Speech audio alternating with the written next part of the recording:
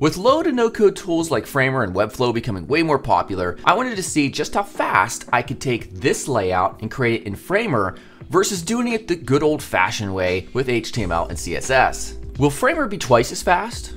Three times faster? Maybe five times faster. I'm not sure. Let me know what your predictions are in the comments below, but we're about to find out. And at the end, I'm going to give you some of my key takeaways about tools like Framer versus just doing it the good old fashioned way with HTML and CSS in some JavaScript. All right, let's get started.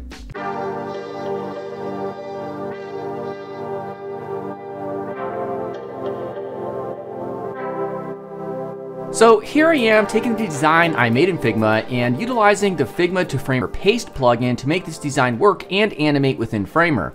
Now when you paste your design from Figma to Framer, it does a good job of accurately translating the design to its interface. I only needed to make a slight adjustment to the 01 type.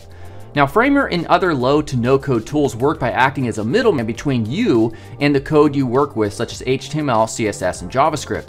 In the end, it's all converted into code, and in this case, React, but you as the designer don't have to worry about the actual code.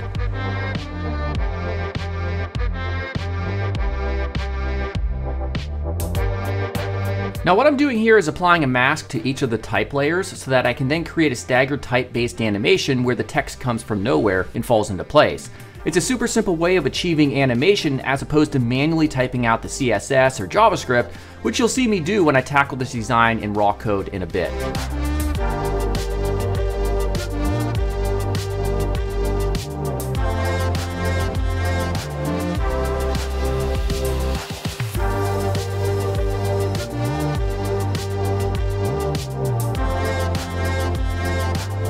So after a bit of testing, here is the final result. It took 8 minutes and 49 seconds. Now let's see how long it takes to type all of this out in HTML and CSS.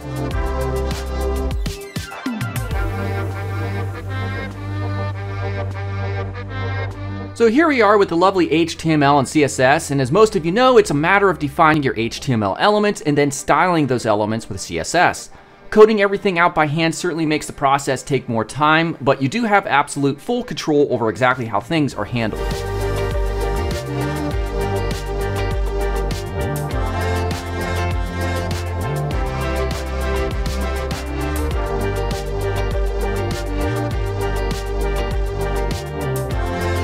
Now at this point in the process, I was just about finished doing the layout in Framer, and I'm not even halfway through yet with the HTML CSS. One of the things that also takes the manual HTML CSS process longer is the fact that it's very difficult to get all of your HTML and CSS code right the first time. I typically have to modify my HTML markup a few times, along with the CSS to fix any unintended issues that may arise.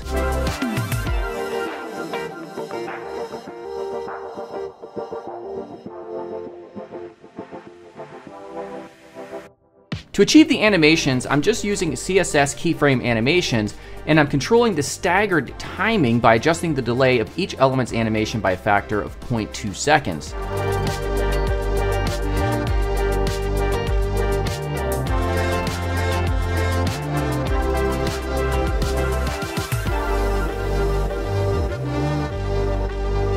And here we go. It took 21 minutes and 21 seconds to create this in raw HTML and CSS, whereas it took 8 minutes and 51 seconds to do the no-code route. Now while Framer is certainly faster, for this very limited and simple example, the file size of the resulting project is much larger for Framer, and that's because your Framer project becomes a React project, which means a lot more code to transfer, thus more data. In the end, I think both low to no code tools and raw HTML and CSS have their place depending on the situation. If your project demands full control and full flexibility with speed being a huge factor, you'll want to avoid low to no code tools. If what you need isn't all that complex and time or lack of coding skills is an issue, low to no code tools like Framer are perfect. If you enjoyed this video, check out designcourse.com where you can learn UI, UX, CSS, and more with my custom interactive platform that makes learning fun and easy.